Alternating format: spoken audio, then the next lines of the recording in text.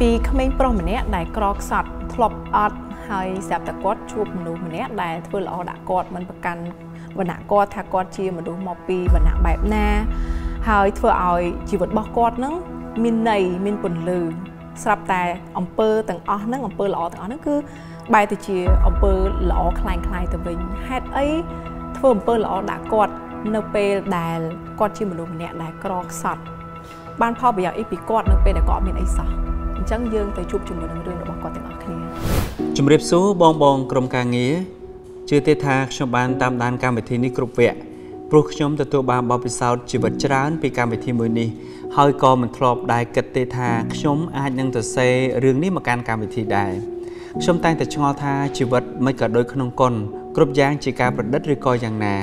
ចម្លើយដែលខ្ញុំទទួលបានយ៉ាងច្បាស់ដោយមិនមានការបកស្រាយព្រោះពេលនេះខ្ញុំកំពុងតែជួបរឿងមួយនេះនឹកស្មានមកដល់ដូចគ្នាទើបខ្ញុំសរសេររឿងនេះមកកាន់កម្មវិធីខ្ញុំឈ្មោះធីជាសិស្សដែលរៀនមិនចប់ក្រុមគ្រួសារនៅផ្ទះមិនដឹងទេថាខ្ញុំឈប់រៀនហើយខំត្រដរធ្វើការព្រោះជីវភាពមិនអំណោយផល រាល់ពេលដែលពុកម៉ែសួរនាំពីរឿងរៀនម្ដងម្ដងខ្ញុំមិនដែលឆ្លើយបែបណាឲ្យស័ក្តិសមនោះទេព្រោះខ្ញុំឈប់រៀនតាំងពីឆ្នាំទី2មកម្លេះរយៈពេល1ឆ្នាំមកនេះខ្ញុំធ្វើការសពគ្រប់លក់ផលិតផល តាមផ្លូវចែកខិត្តប័ណ្ណលើកអីវ៉ាន់យាមកន្លែងឲ្យគេអ្វីក៏ជួបដែរមិនបានប្រមាណផងខ្ញុំក៏មានការងារថ្មីមួយដែលខ្ញុំបានជួប ប្តីប្រពន្ធជាម្ចាស់ហាងដែលចៃដន្យចាប់ផ្ដើមពីការដឹកអីវ៉ាន់ឲ្យគាត់និងភាពឧស្សាហ៍ព្យាយាមរបស់ខ្ញុំពួកគាត់ស្រឡាញ់ខ្ញុំណាស់គាត់តែងហៅខ្ញុំឲ្យចូលហូបបាយជាមួយទិញរបស់ឲ្យនិងឲ្យអាវថ្មីមកខ្ញុំជាដើមថ្ងៃមួយបងប្រុសមិននៅទេខ្ញុំក៏ត្រូវបានបងស្រីហៅឲ្យចូលទៅជួយរើសរើទូនៅក្នុងបន្ទប់ដែលគាត់សំអាងថាវាពុកចង់ដកចេញ ដំបងឡើយខ្ញុំមិនហ៊ានចូលទេព្រោះវាមិនសមរម្យណាមួយខ្លាចបងប្រុសមកតន់បែរជាយល់ច្រឡំប៉ុន្តែដោយការទទូចឲ្យជួយខ្ញុំក៏យល់ព្រមដោយខ្ញុំធ្វើជាលេះតែទៅសួរបងប្រុសរឿងអីវ៉ាន់ឬក៏ឆ្លៀតប្រាប់បងប្រុសថាបងស្រីឲ្យជួយដោះទូក្នុងបន្ទប់គាត់ក៏មិនថាអីដែរហើយគាត់ផ្ដាំឲ្យខ្ញុំជួយមើលបងស្រីឲ្យស្រួលផងខ្ញុំមិនយល់ទេថាជួយមើលបងស្រីយ៉ាងម៉េចកំពុងដោះទូនឹងរើអីវ៉ាន់ចេញ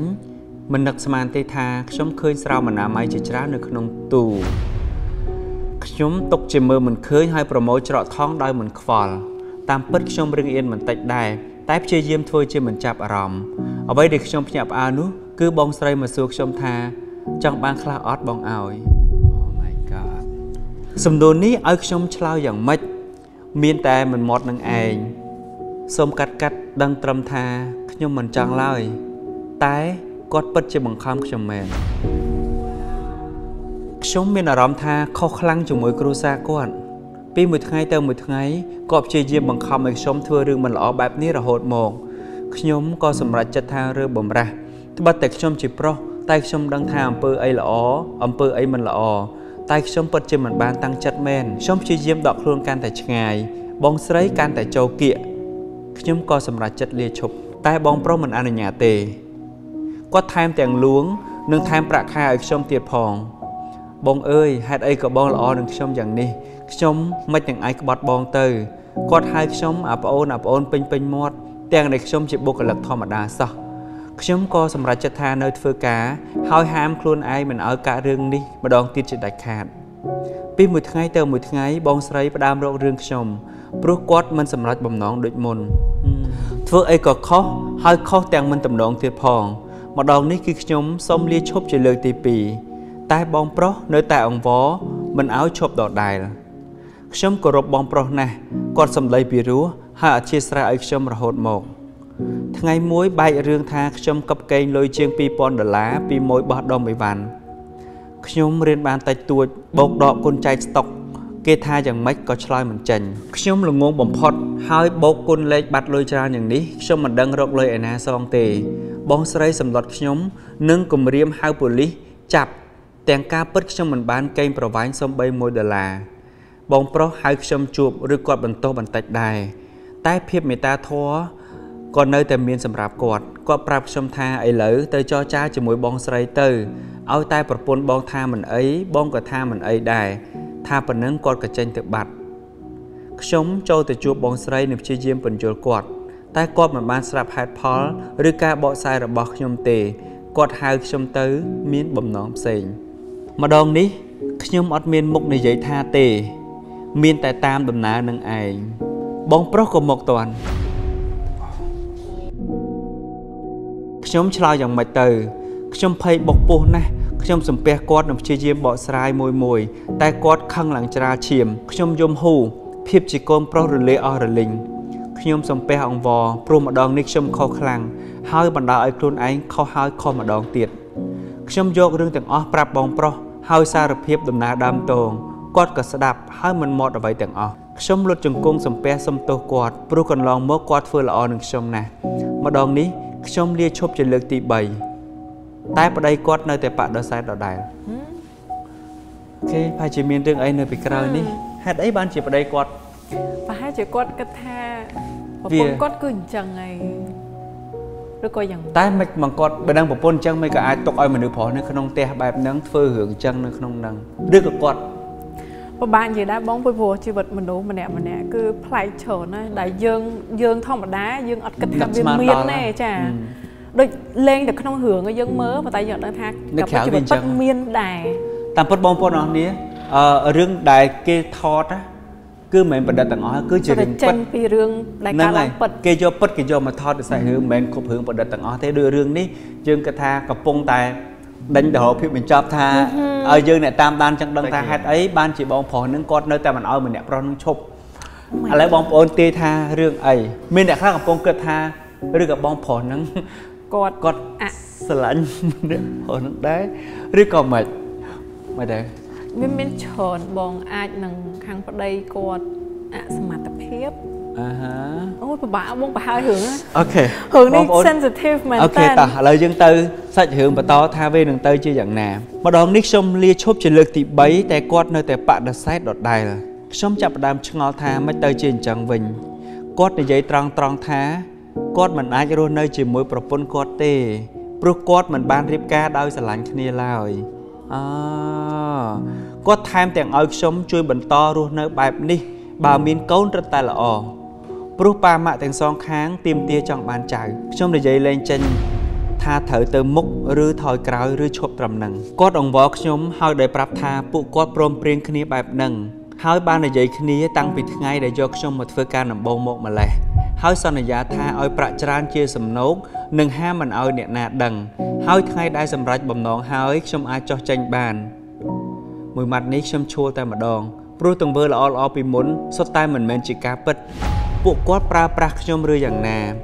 សំទោសប្រិមិត្តដែលស្ដាប់រឿងដ៏អាក្រក់មួយនេះចុងក្រោយបងប្អូនប្រហែលជាចង់ដឹងហើយថាតើខ្ញុំព្រមទទួលសំណើនោះឬអត់ចម្លើយ គឺអត់ទេខ្ញុំបដូរលេខទូរស័ព្ទនិងបដូរផ្ទះជួល គឺកិច្ចមុខរហូតសំបី Facebook ក៏បិទចោលដែរទោះបីខ្ញុំជាអ្នកក្រក៏មិនធ្វើការងារបែបនេះដែរទីបញ្ចប់ខ្ញុំក៏វិលមករើសផ្លូវចូលរៀនវិញព្រោះមានអារម្មណ៍ថាខុសខ្លាំងជាមួយពុកម៉ែដែលប្រឹងធ្វើការពេលយប់នៅហាងមួយវិញអរគុណបងបងដែលអានរឿងខ្ញុំខ្ញុំព្យាយាមសរសេរកាត់កាត់សង្ឃឹមថាបងនឹងយល់និងផ្ដល់យោបល់ល្អល្អឲ្យប្អូនរៀនរស់នៅបន្តទៀតវ៉ាវ សម្រាប់ខ្ញុំពេលស្ដាប់រឿងនឹងហើយរៀង shock បន្តិចប៉ុន្តែនៅពេលដែលគាត់បញ្ចប់ផ្សាយរឿងខ្ញុំបែរជាសប្បាយចិត្តធូរចិត្តវិញសម្រាប់គាត់ដោយសារតែគាត់បានជ្រើសរើសយកផ្លូវសិក្សាឲ្យអឺធ្វើមិនកុំឲ្យឪពុកម្ដាយគាត់ពិបាកចិត្តចាអឺនេះគឺជាផ្លូវដ៏ល្អមួយនៅពេលដែលអាចថាគាត់ជួបគ្រោះបែរជាបដូរគ្រោះទៅជាច្រកចេញថ្មីសម្រាប់គាត់ខ្ញុំរំជួលចិត្តឡើងនឹងដែរនៅពេលដែលគាត់ប្រើពាក្យមួយថា គាត់រើសផ្លូវទៅរៀនដើម្បីកុំឲ្យខុសមួយពុកម៉ែរបស់គាត់អញ្ចឹងនេះគឺជាផ្លូវដ៏ល្អមួយដែលពួកខ្ញុំអត់ចាំបាច់ប្រាប់ទៅប្អូននេះថាប្អូនគួរតែរើសផ្លូវណាផ្លូវដ៏ល្អគឺផ្លូវត្រឡប់ទៅរៀនដើម្បីសងគុណឪពុកម្ដាយព្រោះគាត់ពិតជាអត់បានដឹងទេថាប្អូនឈប់ធ្វើការពិបាកយ៉ាងណាត្រូវតស៊ូរៀនកុំឈប់រៀនបើសិនបើយើងអត់លទ្ធភាពយ៉ាងហោចណាស់ក៏យើងបានបញ្ចប់នៅថ្នាក់បាក់ឌុបឬមានលទ្ធភាពបន្តទៀតធ្វើការបដារៀនបដាព្រោះ ចង់និយាយថាបើអាយុយើងកាន់តែច្រើនយើងទៅតែត្រឡប់បបកចង់រៀនវិញវាហួសពេលវាពិបាកក្នុងការត្រឡប់ក្រោយអញ្ចឹងតើអាយុយើងនៅយើងកុំបោះបង់ចោលការសិក្សាបើយើងមានសញ្ញាបត្រយើងមានតម្រៃហើយយើងអាចចាប់ផ្ដើមសាងអនាគតថ្មីបាទអឺហ្នឹងហើយហើយខ្ញុំឃើញថាការសម្រេចចិត្តរបស់គាត់គឺត្រឹមត្រូវខ្លាំងមែនតែនដោយគាត់តន់គាត់នៅក្មេងហើយណាមួយឲ្យឪពុកម្ដាយគាត់មានមោទនភាពលើគាត់គាត់ជ្រើសរើសយកការសិក្សាអឺ អាចជារឿងមួយដែលបន្លាចគាត់មួយរយៈពេលធំក្នុងជីវិតរបស់គាត់ប៉ុន្តែសង្ឃឹមថាគាត់ឥឡូវគាត់សប្បាយចិត្តជាមួយនឹងការសម្រេចចិត្តរបស់គាត់បងឃើញច្រកចេញមកបងអូនហើយអត់ចាំបាច់សួរបងថាមានអីប្រាប់បងអូនដើម្បីឲ្យបងអូនរៀនរស់បន្តទៀតតាមពិតបងអូនបានរៀនរស់ហើយហើយទី1អូនបន្តការរៀនសងគុណពុកម៉ែរបស់គាត់ទី2បងអូនប្រើពាក្យមួយថាធ្វើការវេនយប់ អញ្ចឹងបងអូនមានការងារល្អបងអូនមានកន្លែងរៀនសូត្រហើយអញ្ចឹងសូមចាត់ទុករឿងនេះគឺជាអតីតកាលកុំរស់នៅជាមួយនឹងអតីតកាលរស់នៅជាមួយនឹងបច្ចុប្បន្នបច្ចុប្បន្នដែលបងអូនកំពុងតែបន្តការសិក្សាជានិស្សិតជាបុគ្គលិកក្រុមហ៊ុនសូមយកតំណែងបែបនេះនៅក្នុងចិត្តអូននាពេលបច្ចុប្បន្នបំភ្លេចរឿងអតីតកាលនេះចោលព្រោះបងគិតថាអញ្ចេះអឺសុំនិយាយមួយព្រោះយើងជាមនុស្សប្រុសដែរយើងជាមនុស្សប្រុសយើងអត់ទាន់មិនមែនថាទៅខាត់បងអី ជួលយល់អារម្មណ៍អារម្មណ៍គាត់នៅកំឡោះតែខ្ញុំគិតថាវាអត់ទាន់ខាត់បងអីខ្លាំងទេព្រោះយើងជាមនុស្សប្រុសហើយអត់អីទេប៉ុន្តែខ្ញុំគិតថាការសរសេររឿងនេះមកប្រាប់កម្មវិធីរបស់យើងគឺដោយមូលហេតុមួយធំគាត់មានអារម្មណ៍ថាគាត់ត្រូវបានគេបោកប្រាស់គាត់ប្រើគាត់ផ្លូវចិត្តច្រើនជាងហើយគាត់ដឹងគុណគេទាំងដែលត្រឡប់មកវិញគឺជាមួយនឹងរឿងទាំងអស់ហ្នឹងគេចង់ចាអញ្ចឹងខ្ញុំចង់ប្រាប់ទៅគាត់ សកម្មថាគាត់មើលកម្មវិធីយើងថ្ងៃហ្នឹងការសម្រេចចិត្តរបស់បងគឺត្រឹមត្រូវខ្លាំងមែនតែនហើយកុំគិតកុំយកមកដាក់ខ្លួនទៀតថាគេបោកប្រាស់យើង គេធ្វើអំពើល្អដោយគ្រាន់តែចង់បានផលប្រយោជន៍ទុកវានៅខាងក្រោយយើងមិនបាច់គិតទៀតទេដោយសារឥឡូវហ្នឹងគឺគាត់ដើរផ្លូវមួយដែលវា